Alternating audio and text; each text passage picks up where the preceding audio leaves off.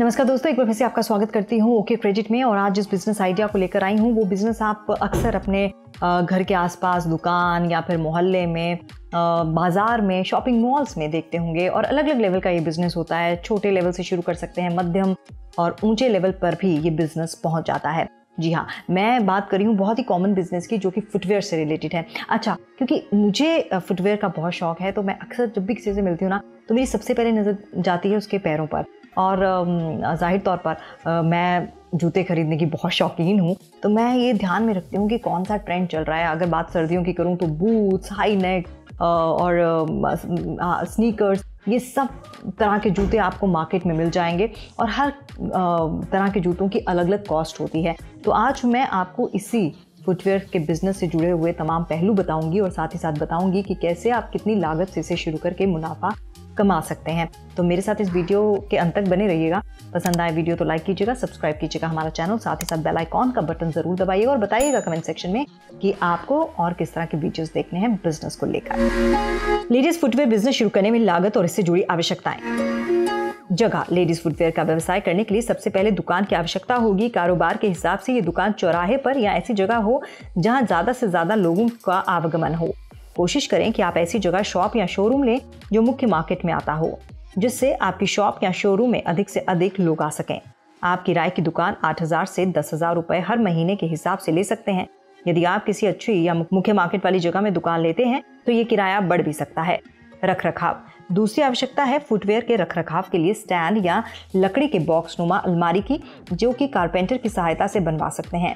इसमें रुपए पंद्रह हज़ार से बीस हज़ार रुपए तक का खर्च आएगा। फुटवेयर का बाहर से डिस्प्ले इसके उपरांत दुकान की ओर ग्राहक का ध्यान आकर्षित करने के लिए दुकान की ब्रांडिंग और सजावट की आवश्यकता होगी, जिसमें बीस हज़ार का खर्च आएगा। लेटेस्ट फुटवेयर दुकान तैयार होने के बाद सबसे आवश्यक और महत्वपूर्ण है फुटवेयर का अच्छी गुणवत्ता और लेटेस्ट फ़ैशन के अनुसार दुकान में उपलब्ध होना, जिसके लिए थोक विक्रेताओं से संपर्क कर सकें। इसके साथ ही कानपुर, आगरा और दिल्ली जैसे शहर में किफायती दामों में फ़ैशन के अनुसार फुटवेयर उपलब्ध है। इसमें अपनी पूंजी के अनुसार लागत लगा सकते हैं, फिर भी एक लाख रुपए से डेढ़ लाख रुपए तक की आवश्यकता होगी। कंप्यूटर। ऊपर दी गई आवश्यक वस्तुओं के अलावा कैश काउंटर पर बिलिंग के लिए एक कंप्यूटर की भी आवश्यकता होगी, जिसकी सहायता से बिल बना सकते हैं। साथ ही उसमें अपने कारोबार का लेखा जोखा भी रख सकते हैं। एक कंप्यूटर लगभग 30 से पैंतीस हज़ार तक की कीमत के साथ बाज़ार में उपलब्ध है। आवश्यक स्टाफ। फुटवेयर की दुकान पर अक्सर एक साथ कई ग्राहक आ जाते हैं। ऐसे में सभी ग्राहकों को अकेले संतुष्ट कर पाना मुश्किल कार्य होता है। इसलिए सहायता हेतु एक से दो लोगों की ज़रूरत के हिसाब से स्टाफ होना चाहिए, जिसके चलते दुकान में आने वाले ग्राहक पूरी तरह से संतुष्ट होकर जाए। मुनाफा। कोई भी व्यवसाय करने से पहले उद्योगी की नज़र मुनाफे पर होती है। इन दिनों फुटवेयर का इस्तेमाल महिलाएँ काफ़ी ज़्यादा कर रही हैं। अपने फ़ैशन स्टेटमेंट को बरकरार रखने के लिए, जिसके चलते ये कह सकते हैं कि ये कारोबार मुनाफे वाला व्यवसाय है। यदि थोड़ी सी समझदारी और सूझबूझ के साथ इस कारोबार को किया जाए तो इसमें 35 प्रतिशत से 40 प्रतिशत तक का मुनाफा होता है। शोरूम और बड़ी दुकान। आप अपना बिज़नेस किस कैटेगरी का खोल रहे हैं, ये आपको सोचना होगा। यानी कि यदि आपके पास इतना बजट है कि आप एक शोरूम खोल सकते हैं तो आपको शोरूम के हिसाब से जगह ढूंढनी होगी। शोरूम के हिसाब से ही इंटीरियर डिज़ाइन करना होगा। बड़े शोरूम के लिए लगभग 300 से 350 स्क्वायर फीट की जगह होनी चाहिए, जो कि पचास हज़ार से साठ हज़ार रुपए तक में अच्छी मार्केट में मिल जाएगी। इसके अलावा फुटवेयर के रखरखाव के लिए स्टैंड और अलमारी चाहिए होगी और ग्राहकों को आकर्षित करने के लिए दुकान की सजावट ब्रांडिंग भी ज़रूरी है। इन सब में लगभग एक लाख रुपए तक का खर्चा आएगा। साथ ही बड़े शोरूम में स्टाफ भी बढ़ जाएगा, जिसमें तीन से चार लोगों की आवश्यकता होगी।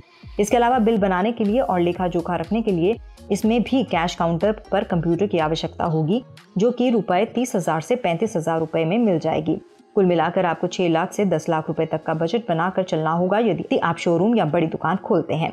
उद्योग का रजिस्ट्रेशन और लोन भारत सरकार के द्वारा लगातार देश के प्रत्येक नागरिक को आत्मनिर्भर और सशक्त बनाने की बात कही जा रही है, जिसके चलते एमएसएमई के माध्यम से भारत सरकार द्वारा तीन लाख करोड़ के पैकेज की घोषणा की गई है।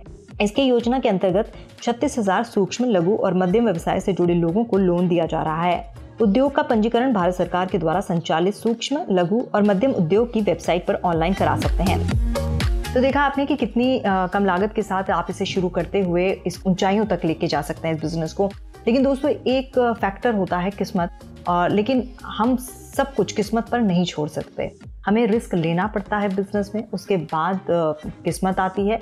लेकिन हाँ जैसा कि कहते हैं कि आप अपनी मेहनत से किस्मत का भी रुख बदल देते हैं तो इस चीज़ पर पूरी तरह से अड़िग रहिए विश्वास कीजिए और साथ ही हमारा साथ देते रहिए और ज़्यादा से ज़्यादा लोगों तक इस तरह के वीडियोस पहुंचाइए ताकि हम और हमारा देश आत्मनिर्भर बन सके और हमारे बिज़नेस फले फूले और हमारा लाइफस्टाइल अच्छे से हो इसी अच्छे नोट के साथ आपसे इजाज़त लेती हूँ।